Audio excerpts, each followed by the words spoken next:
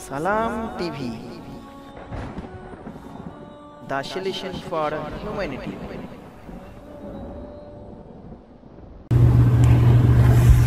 بسم الله الرحمن الرحيم الحمد لله رب العالمين والصلاة والسلام على أشرف الأنبياء والمرسلين نبينا وحبيبنا وقدوتنا محمد صلى الله عليه وسلم وعلى آله وأصحابه أجمعين সম্মানিত আমার দিনী ভাইরা আসসালামু আলাইকুম রহমতুল্লাহ বরকাত আজকে আমাদের এই আল উসুল সালাতা ওয়া আদিল্লাতুহা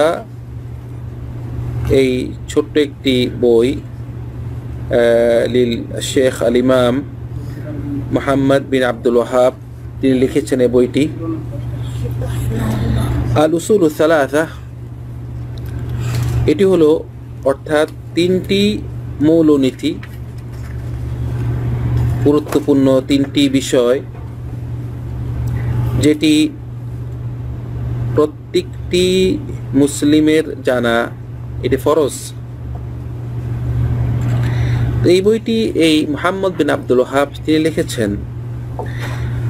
তো এই বইটি যেহেতু Sheikh Muhammad bin Abdul Wahab রহিমহল্লা লিখেছেন এই বইটি আমরা ব্যাখ্যা করার শাহ করার প্রথমে আমি শেখ মোহাম্মদ আব্দুল হাবের কথা বলতে যাচ্ছি, সংক্ষেপ ওনার তর্জমা। আমরা সবাই শেখ মাহমুদ্দিন আব্দুল হাবকে চিনি। তিনি এই জাজিরা আরবিয়া, এই জাজিরাতুল আরবিয়াতে আগে অনেক বিদা অনেক শিরকিয়াত ছিল। আল্লাহ সুবহানাহু ওয়া তাআলা তিনি এই মোহাম্মদিন আব্দুল ওয়াহাব ওনার সাথে আমির মোহাম্মদ বিন সৌদ ওরা দুজন মিলে এই জাজিরাতুল আরবিয়ার যত রকম শিরকিয়াত ছিল, কবর পূজা ছিল, বিভিন্ন কবরে, এরকম বাংলাদেশের মধ্যে দেখি আমরা, বিভিন্ন কবরে বিভিন্ন কুম্বু গুম্বুজ, মাজার, মানুষ কবর পূজা করত। বিদাতে ভরা ছিল। কিন্তু আল্লাহ সুবহানাহু ওয়া তাআলা তৌফিক দিয়েছেন এই ইমামকে মাহমুদ্দিন আব্দুল ওয়াহাব। তিনি উনি তো ছিলেন ইমাম একজন আলেম উনার কোনো শক্তি ছিল না। তো উনি ছিল আলেম ওনার পাশাপাশি ছিল আহ, মোহাম্মদ বিন সৌদ ওনারা উনি ছিল আমির।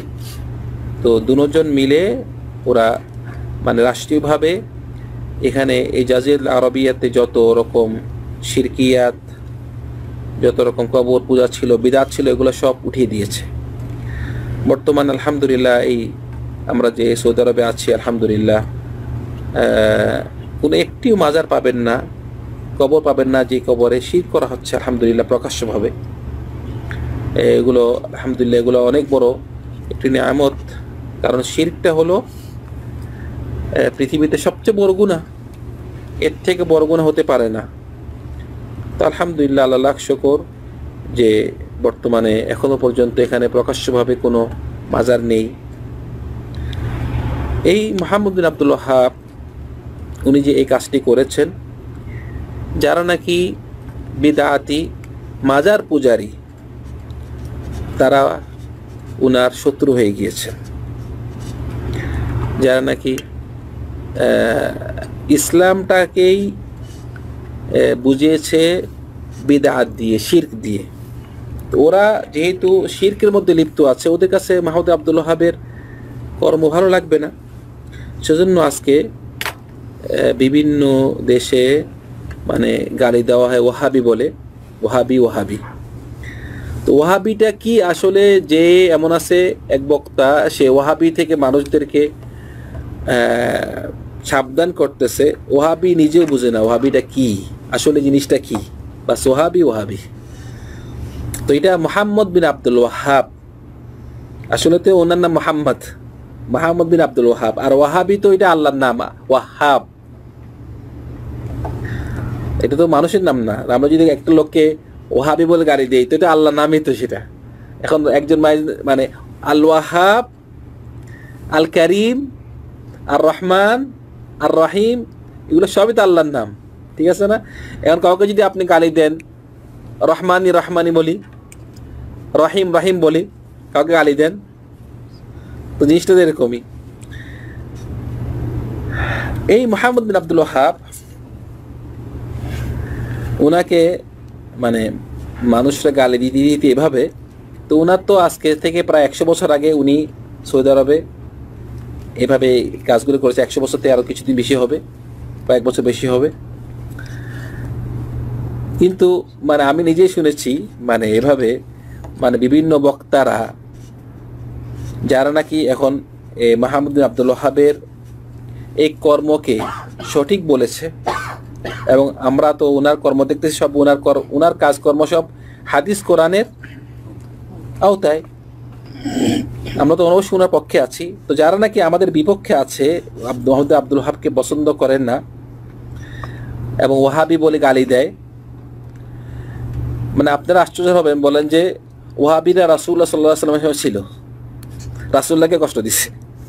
এখন এখন ওয়াহাবির রাসুল্লাহকে কি কষ্ট দিবে? ওয়াহাবির তো জন্ম হয়েছে, যদি আপনারা ওয়াহাবি মাহমুদ আব্দুল ওয়াহাকে বলে থাকেন, তো জন্মই তো হয়েছে একশো বছর আগে। এটা রাসুল্লাহ সাল্লাহ সাল্লামকে কীভাবে সাহাবাদেরকে হ্যাঁ? রাসুল্লাহ সাল্লাহ সাল্লামকে, সাহাবাদেরকে, ওদের সময় ওরা খুব খারাপ ছিল, হ্যান ছিল বিভিন্ন মানে সব সমস্যা ওহাবি বাংলাদেশে যত মুসিবত আছে ওহাবির কারণে। তো এই মাহমুদ আব্দুল হাব উনি যে, যেসব বই লিখে গিয়েছেন ওনার বই নামগুলো শুনেন আর তৌহিদ আমরা তো তৌহিদ ইসলাম ধর্ম তো মেন তৌহিদ ঠিক আছে না? এখন শির্ক রাসুল সাল্লাহ সাল্লাম কেন এসেছেন? আনে আবুদুল্লাহ ওয়াহদা মানে আল্লাহকে একত্ববাদ মানে আপনি লা ইলাহা ইল্লাল্লাহ বলো। শিখতে দূরে থাকো। কি বলতেছিলাম জানি? ভুলে গেলাম। হ্যাঁ? তো বলতেছিলাম যে রসুল সাল্লাহ সাল্লাম তো উনি এসেছেন যে তৌহিদ নিয়ে। তো ইমাম আব্দুল মাহমুদ আব্দুল হাবের উনার বই হলো কি বই? তৌহিদ বই আর তৌহিদ তারপরে আল উসুল সালাসা আপনার গাফিল, খালাস, গাফিল ও খালাস। আল উসুল সালাসা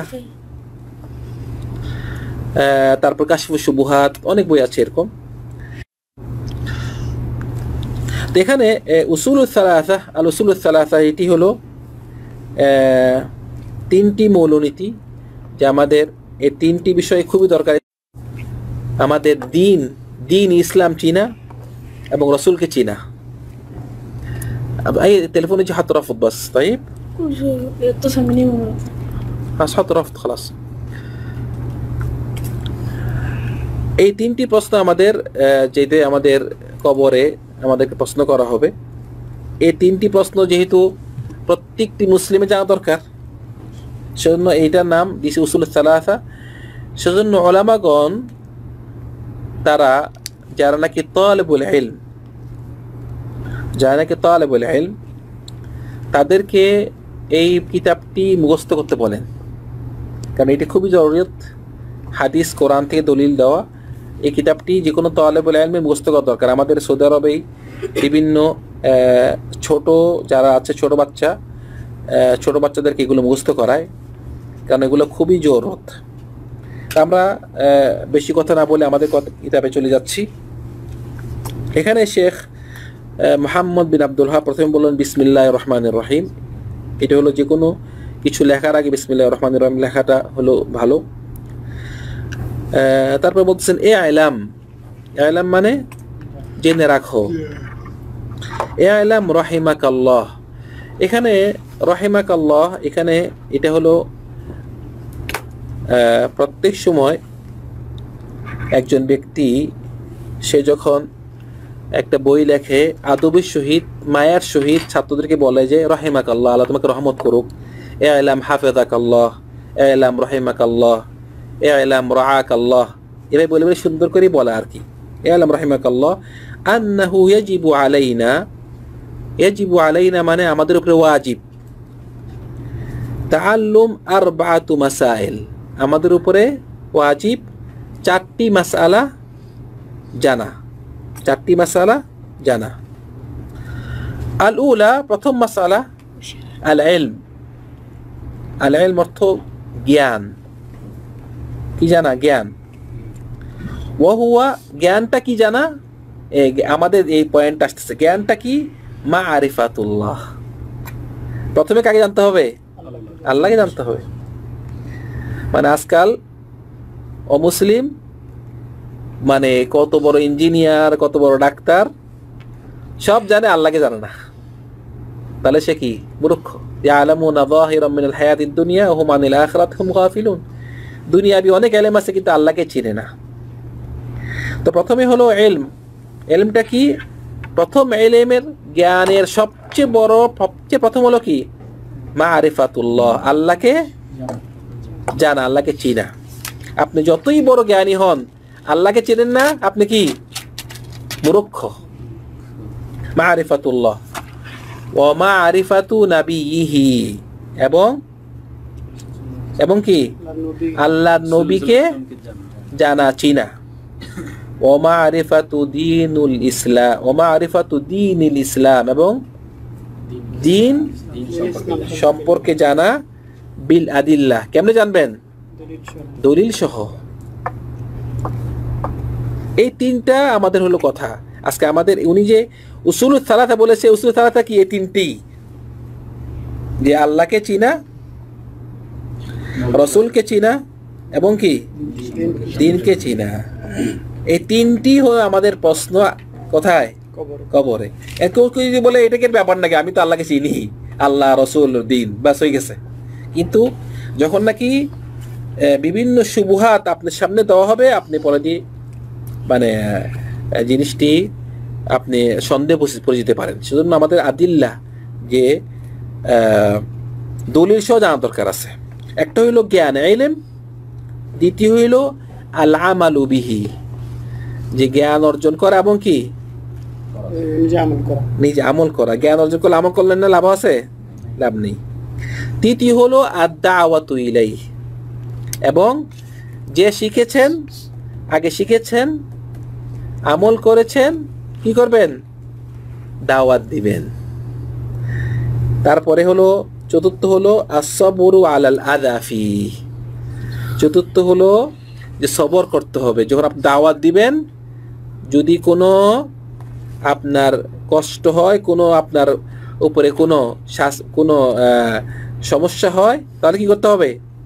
সবর করতে হবে। আর সবর আলাল আদা আদা মানে কি? কষ্ট। হ্যাঁ সবর আলাল আদা ফি এই দাওয়াতে কাজ করতে যে কোনো কষ্ট হলে কি করতে হবে? সবর করতে হবে।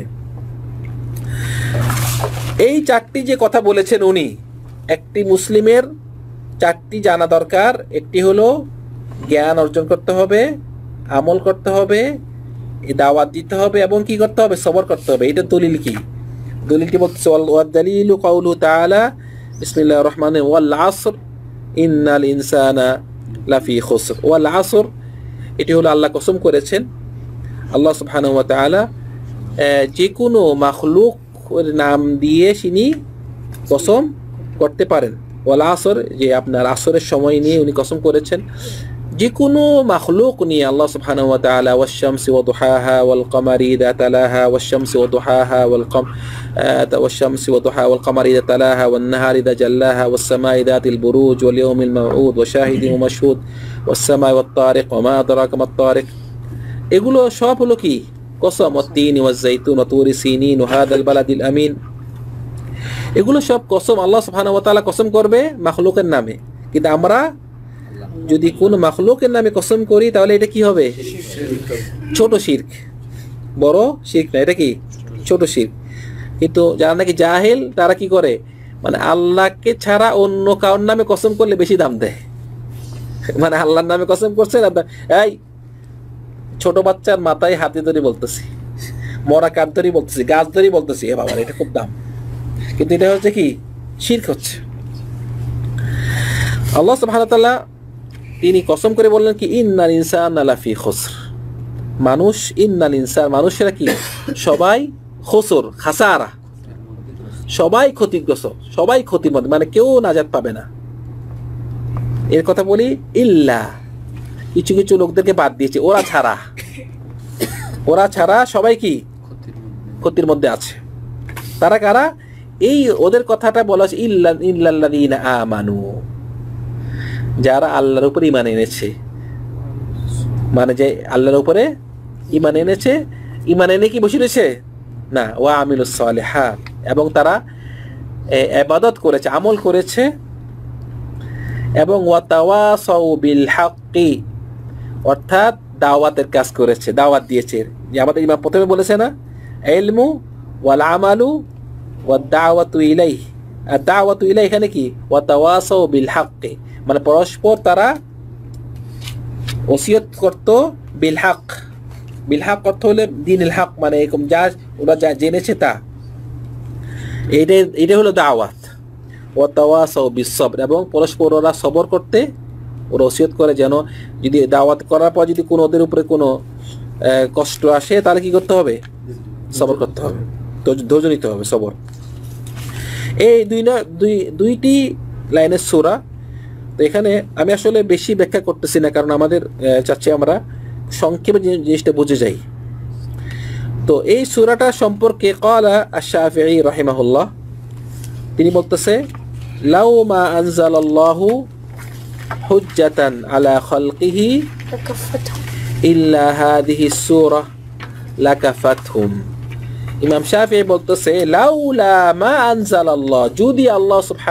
নাজিল না করে, শুধু শুধু এই সূরা নাজিল করত? মানে কোরআনে একশো চোদ্দটা সূরা আছে। এক একটা সূরা কত বড় বড় সূরা? আর ছোট্ট একটা সূরা। তো ইমাম শাফি কি বলতেছে যদি আল্লাহ তাআলা শুধু এই কোরআন এই কোরআন থেকে শুধু এই শুধু এই সুরাত নাজিল করতেন, হজ্জাতান আলা খলকিহি, তাদের ওনার মাখলুকের, আমাদের মানুষের উপরে এটা দলিল হিসাবে এই সুরাটি লাকাফাথুম তাদের জন্য যথেষ্ট। লাকাফাথুম মানে কি? তাদের জন্য এই সুরাটি যথেষ্ট হতো। লাকাফাথুম মানে এই সুরাটা যদি শুধু আল্লাহ সুবাহ পুরা কোরআন নাজিল না করে, শুধু যদি এই সুরাট নাজিল করতো, তাহলে তাদের জন্য যথেষ্ট হতো, দলিল হিসাবে। ওকাল আল বুখারি রাহেমাহুল্লাহ, ইমাম বুখারি কি বলেছেন? ইমাম বুখারি একটি বাপ একটি অধ্যায়ের নাম দিছে, তার ইমাম বুখারি সহেল বুখারি একটি অধ্যায়ের নাম কি দিছে? বাবু আল ইলমু ক্বাবলা আল কওলি ওয়াল আমাল। বাব একটা বাব মানে কি? একটা অধ্যায় এখানে। বইয়ের মধ্যে দরজা তো হলো আপনার ইয়াতে মানে ঘরে, কিন্তু বইয়ের মধ্যে কিন্তু একটা বাপ থাকে, তাহলে এর নাম হলো কি? একটা অধ্যায়। একটা অধ্যায় নাম দিয়েছে কি? বাবু আল ইলমু মানে জ্ঞান অর্জন করা কবলাল কৌলি ওয়াল আমাল। নিজে কল মানে কি? বলা। আমাল অর্থ কি? আমল করা। তো নিজে বলার আগে, আমলের আগে কি নিজে শিখো? এখনকার অনেক ভাই আছে কি, বা নিজের না জানি দাওয়াতে কাজ শুরু করে দেয়। নিজে আগে জানতে হবে, তারপর দাওয়াতে কাজ করতে হবে। না জানি দাওয়াতে কাজ করা, আপনি মনে হচ্ছে ভুল বলে ফেলতে পারেন। সেজন্য আগে জানতে হবে, তারপরে কি আমল করতে হবে।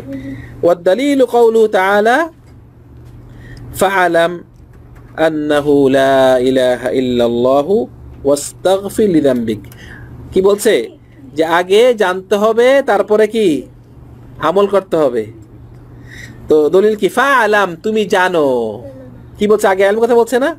ফা আলাম আন্নাহু লা ইলাহা, তুমি জেনে রাখো, আন্নাহু লা ইলাহা ইল্লা আল্লাহ এক ওয়াস্তাগ তারপর আমল করো, ওয়াস্তাগফির লিযামবিক, এবং তোমার পাপ থেকে তুমি কি? আল্লাহর কাছে মাগফিরাত কামনা করো।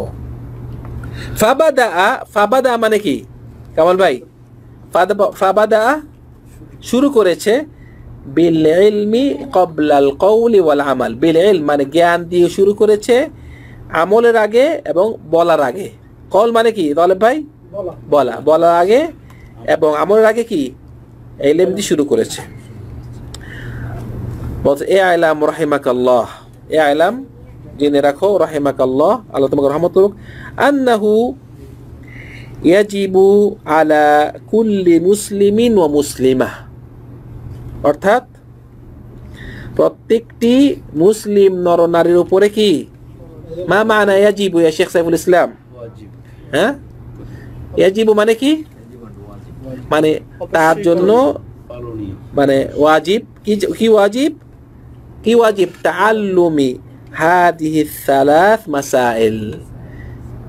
মানে তার জন্য ওয়াজিব কি? তাআল্লুম মানে কি? জ্ঞান রাখা। জ্ঞান অর্জন করা কিসের উপরে? মাসাইল। এই তিন মাসআলাটা তার উপরে, তার জন্য জানাটা কি ওয়াজিব? ওয়াল আমালু বিহিন্না। তার জন্য জানা ওয়াজিব এবং কি আমল করার কি ওয়াজিব। আল উলা প্রথমটা কি?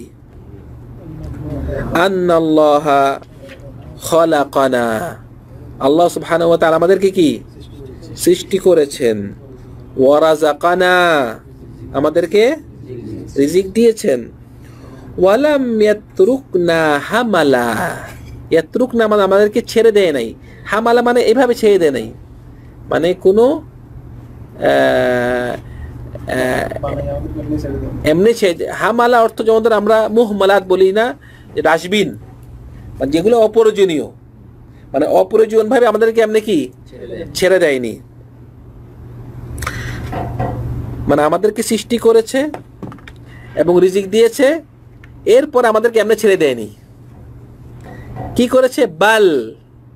বাল অর্থ কিন্তু। বাল আরসালা ইলাইনা রসুলা। কিন্তু আমাদের কাছে রসুলদেরকে কি প্রেরণ করেছে? রাসূলদেরকে পাঠিয়েছেন। আরসালা মানে কি? পাঠিয়েছেন আমাদের, ইলাইনা আমাদের নিকটে রসুলা, রসুলদেরকে, রসুল। ফামান আতাহু যে নাকি রসুলের অনুগত্য করে, অনুসরণ করে, দাখালাল জান্না সে কি করবে? জান্নাতে প্রবেশ করবে। ওয়ামান আসাহু, মা মান আসাহু? আসাহু মানে যে তার কথা অমান্য করবে, তার কথা শুনবে না। শেখুল ইসলাম ভাই, আসাহু মানে আসি আমরা বলি আসি মানে পাপি। আসি মানে পাপি। এখানে আসাহু রাসুল্লাহকে আসাহ মানে রাসুল্লাহ যে নাকি কথা অমান্য করবে। এর ফল কি হবে? দাখালান্নার সে জাহান নামে প্রবেশ করবে। ওয়াদ কি কিসের দলিল? দলিল কি? ইন্না আরসালনা ইলাইকুম রসুলান শাহিদানা আলাইকুম। আমি তোমাদের নিকটে কি রসুল পাঠিয়েছি? শাহিদান আলাইকুম। সাক্ষী দিবেন। রসুল আমাদেরকে কি সাক্ষী দিবেন যে আমরা উনি আমাদেরকে আমাদেরকে আমরা কতটুক আমল করলাম ওনা কত কতটুক শুনেছি? শাহেদ আলাইকুম কামা আরসালনা, এবং আমি এই রসুল যে পাঠিয়েছে, রসুল সাল্লাহ সাল্লামকে, মোহাম্মদ সাল্লাহ আলাইসলাম যে পাঠিয়েছেন, এটা কি প্রথম পাঠিয়েছেন? না। কামা আরসালনা, আমি অতীতেও পাঠিয়েছি, একটা উদাহরণ দিল, ইলা ফিরাউনা রসুলা ফেরাউনের নিকটে আমি রসুল পেটি ফেরাউনকে কাকে পাঠিয়েছে? মুসা আলাইস এইভাবে মানে ফেরাউনের কথা বলা হয়েছে কিন্তু আরও অনেক রসুলকে আল্লাহ পাঠিয়েছেন বিভিন্ন মানুষদেরকে যারা নাকি ওই রসুলের উপর ইমান এনেছে। তারা বেহেস্তি জান্নাতি যারা নাকি রসুলের কথা শুনে নেই তারা কি? জাহান্নামি দোজকি তো বলতেছে ফাসা ফিরাউন রস ফাসা মানে ফেরাউন অমান্য করেছে ফেরাউনুর রসুলা, যে মুসাকে মুসার কথা শুনেনি। মানে আমি তাকে আখাদ না আমি তাকে ধরলাম, খুব শক্তভাবে তাকে আমি নিয়ে গেছি। এভাবে আর কি মানে শক্তভাবে ফেরাউনকে আল্লাহ ওয়া ধরেছে। মানে তাকে, তার জন্য কঠিন কঠিন আল্লাহ ওয়া আজাব রেখেছে। এখানে একটা উদাহরণ দিয়েছে জাস্ট, যে আমাদের নিকট রসুল সাল্লাহ সাল্লামকে পাঠিয়েছেন অতীতে পাঠিয়েছেন অন্য রসুলদেরকে। একটি উদাহরণ দিল যে ফেরাউনের নিকট পাঠিয়েছে কিন্তু ফেরাউন কথার মুসার কথা শুনেনি দেখি। ফেরাউনের জন্য আল্লাহ তাআলা আহ, খুব তাকে শক্তভাবে ধরেছে। তার জন্য কঠিন আজাব জাহান নামে রয়েছে। দ্বিতীয় বক্তব্য আন্না আল্লাহ লা ইয়ারদা আন ইউশরাকা মাআহু আহাদ। আল্লাহ নিশ্চয়ই আল্লাহ, লা ইয়ারদা। মানে কি? লা ইয়ারদা? আল্লাহ সন্তুষ্ট হয় না, রাজি হয় না। আল্লাহর সাথে কেউ যদি শিরক করে মানে আল্লাহ শিরক করা মানে কি? আপনি আল্লাহকে আমরা একমাত্র কার আবাদত করি? আল্লাহ তাআলা। মানে আল্লাহকে ছাড়া অন্য কার আবাদত করে? ওরা আল্লাহকে আবাদত করতেছেন, অন্য কার আবাদত করতেছেন? এটাকে আল্লাহ পছন্দ করে? না, আল্লাহ পছন্দ করে আল্লাহ জি হয় না। আন্না আল্লাহ লা ইয়ারদা ইউশরাকা আহাদ ফি ইবাদাতিহি, তার মধ্যে। মানে আল্লাহ সুবহানাহু ওয়া তাআলা পছন্দ করেন না, আপনি আল্লাহর আবাদতের সাথে অন্য কাউর আবাদত করেন। যদি ওই যার আবাদত করতেছেন, সে যদিও কি হয়? লা মালাকুন মুকাররাব যদিও ওই ব্যক্তিকে আপনাকে যার আবাদত করবেন সে যদি একটি আল্লাহর নিকটতম ফেরেস্তা হয় মালাক মানে কি? আল মুকাররাব নিকটতম। ফেরেস্তা হন। মানে কেউ যদি আমি আল্লাহ আবাদত করলাম এর পাশে জিবরিল সবচেয়ে নিকটতম আল্লাহর ফেরেস্তা আমি ওর আবাদত করব। হবে? হবে না। ওয়ালা নাবিয়ুন মুরসাল। ওয়ালা নাবি কোন একজন নবীরও আবাদত করা যাবে? না। কোন নবী কোনো নাবিয়ের আবাদত করা যাবে না। যদি তো যদি কোনো ফেরেস্তা যে ফেরেস্তা আল্লাহ নিকটতম ফেরেস্তা এবং কোন একটা নবীর আবাদত করা যায় না, তাহলে সাধারণ মানুষের কোনো প্রশ্ন হবে? প্রশ্ন আছে যে যত বড় অলি হক, তার আবাদত করা যাবে? কখনো না। ওয়াদ্দালিল কাউলু তালা ওয়ান্নাল মাসাজিদ আলিল্লাহি ফালা তাদউ মা আল্লাহ হাদা ওয়ান্নাল মাসাজিদা মাসাজিদে বসে মসজিদ। আসলে মসজিদ অর্থ হলো কি? সেজদার জায়গা। মসজিদ মানে? সেজদার জায়গা। তো মসজিদটা একমাত্র কার জন্য? আল্লাহ ফালা তাদউ মাল, ফালা তাদউ। তোমরা দোয়া করিও না আল্লাহর সাথে অন্য কাউর। সেজন্য দোয়াটা কি? দোয়াটা হলো আবাদত। মানে কেউ যদি দোয়া করে, কোন একটা পীরের কাছে যাই, কোন একটি মাজারে যাই বলে এ বাবা, আমাকে এটা দাও, ওইটা দাও। সাথে সাথে এটা কি হবে? শিরকুল আকবার, বড় শিরক হয়ে যাবে। তৃতীয় নম্বর কি বলছে? ওয়া আন্না মান আতা আর রসুল। যে নাকি রসুলের কি করে? অনুগত্য করল। ওয়াহাদাল্লাহ, শেফ তালেব।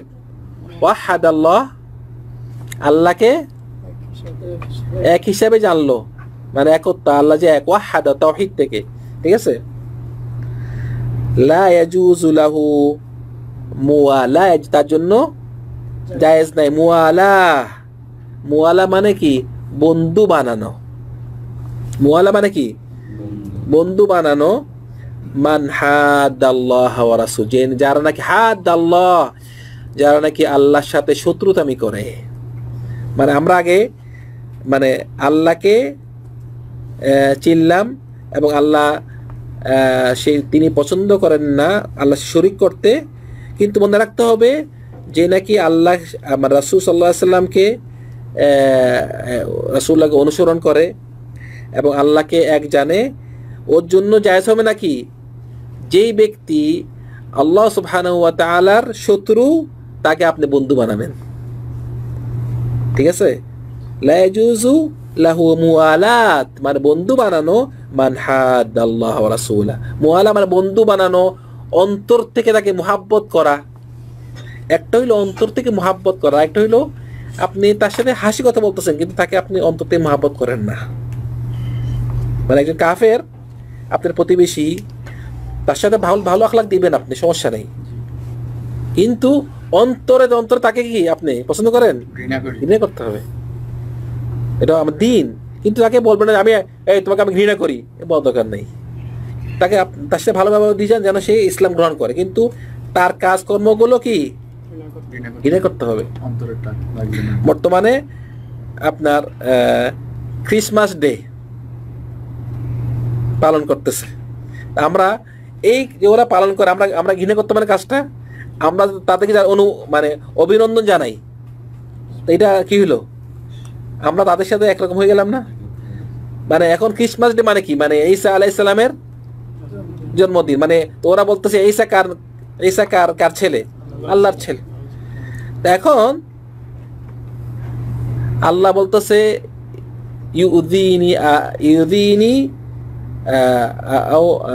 বলতেছে কি? না একটা হাদিসে বলতেছে কি? যে আমাকে ইয়াসুব্বনি বানি আদম মানে আমাকে বনি আদম গালি দেয়। কীভাবে গালি দেয়?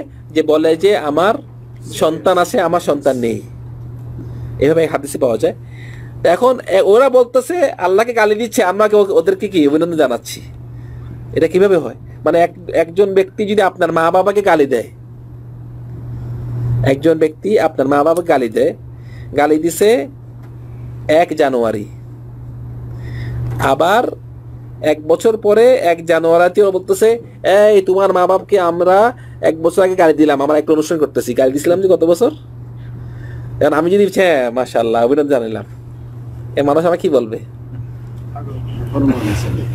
এখন আর তোমার বাপকে সে গালি দিচ্ছে অনুষ্ঠান করতেছে আর তুমি এখানে ওদেরকে অভিনন্দন জানাচ্ছ। বলছো আমি তো বিশ্বাস করি না। হ্যাঁ, বিশ্বাস করো না ঠিকই আমি রাজি নাই কিন্তু তুমি তো ওদেরকে অভিনন্দন দিচ্ছ। এভাবে আল্লাহর কাছে ওরা গালি দিচ্ছে। আল্লাহকে গালি দিচ্ছে আর কি করতেছে? আমরা তাকে অভিনন্দন দিচ্ছি। সেজন্য মানে বন্ধু বানানো যাবে না যে নাকি আল্লাহ তাআলা শত্রু সে তাকে। ওয়ালাউ কানা যে নাকি আল্লাহর শত্রু মানে হাত আল্লাহ থেকে আল্লাহর শত্রু এবং কি? এবং রসুল শত্রু তাকে শত্রু তাকে কি বানা যাবে না? বন্ধু যাবে না। ওয়ালাউ কানা, যদিও ওই ব্যক্তি কি হয়? আকরাব করে। আকরাব মানে কি? করিব? বেশি নিকটে। বেশি নিকটে। ওয়াদ্দালিলু কৌলু তাআলা, আকরাব করিব মানে যতই নিকটে হোক না কেন, আপনার বাবা হোক। মানে আপনার বাবা থেকে, মা থেকে নিকটে কেউ আছে নাকি? যদি আপনার বাবা মা হয়, সে অমুসলিম আপনাকে অন্তর দিয়ে ঘৃণা করতে হবে তার এই কাজটি। সে তো মুসলিম না। ও, তার অবশ্যই দুনিয়াবে তাকে খেদমত করবেন, তার সাথে ভালো ব্যবহার দিবেন, কিন্তু অন্তর অন্তর তার এই কাজ, এই কর্মটাকে আপনি ঘৃণা করতে হবে। বলছে, লা তাজিদু তুমি পাবা না? কওমান একটি জাতিকে ইউমিনুনা যারা নাকি আল্লাহর উপর ঈমান আনে।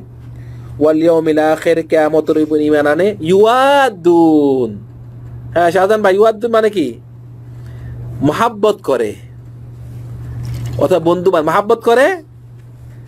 হ্যাঁ মানে মানে আপনি যদি আল্লাহর উপর ঈমান এনেছেন এবং কেয়ামতের উপরে ইয়াউমাল আখিরাতের উপর ঈমান এনেছেন, তাহলে আপনি কোনোদিনও মহাব্বত করতে পারেন না। কাকে?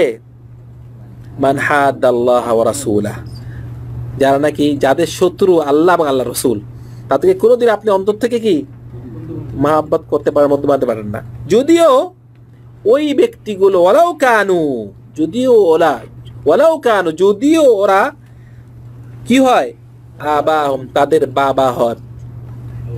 আও আবনাহুম, তাদের সন্তান হয়। আও ইখওয়ানাহুম, তাদের ভাই। আও আশি, তাদের তাদের আচির মানে কি? তাদের বংশ। বংশ হয়। উলাইকা কাতাবা ফি কুলুবিহিমুল ঈমান। যারা নাকি আল্লাহর উপর ঈমান এনেছে এবং কেয়ামতের উপর ঈমান এনেছে এবং যারা নাকি আল্লাহকে, আল্লাহ রসুলকে শত্রু জান, তাদেরকে কি অন্তর থেকে মহাব্বত করে না? ঘৃণা করে? উলাইকা কাতাবা ফি কুলুবিহিমুল ঈমান। আল্লাহ সুবহানাহু ওয়া তাআলা লিখে ফেলেছে ওদের কুলুবের মধ্যে কি? ঈমান ওয়া আইয়াদাহুম। আইয়াদাহুম মানে কি? আইয়াদাহুম মানে তাদেরকে সাহায্য করে। আল্লাহ সুবহানাহু তাদের কি? সাহায্য করে বিরুহিম মিন মানে ফেরেশতা দিয়ে তাদেরকে কি? বিরুহ মানে জিবরিল আলাইহিস সালাম দিয়ে তাদেরকে কি সাহায্য করে? শুধু সাহায্য করবে দুনিয়া তা আখেরাতে কি করবে? ওয়ুদখিলুহুম জান্নাত তাদেরকে বেহেশতে জান্নাতে প্রবেশ করাবে। তাজিরি মিন তাহতিল আনহার যার নিচে দিয়ে আপনার প্রবাহিত নদী থাকে। খালিদিনা ফিহা, তারা চিরস্থায়ী থাকবে এখানে, রাদিয়াল্লাহু আনহুম ওয়ারাদু আন। তারা আল্লাহ উপরে রাজি হয়ে গিয়েছে। আল্লাহ তাদের উপরে কি? সন্তুষ্ট হয়ে গিয়েছে। মানে আল্লাহ তাদের উপর সন্তুষ্ট হয়ে গিয়েছে, তারাও আল্লাহর উপরে সন্তুষ্ট। উলাইকা হিজবুল্লাহ, তারাই হলো আল্লাহর দল। আলা ইন্না হিজবাল্লাহি হুমুল মুফলিহুন। যারা নাকি আল্লাহর দল তারাই কি জয় লাভ করবে? আচ্ছা আজকে আমাদের একটু কি থাক আমরা, ইনশাআল্লাহ, আগামীতে। আমরা এখনও আমাদের যে প্রথম যে মৌলনীতি আসতে পারিনি, এখন আমরা ভূমিকাতে আছি।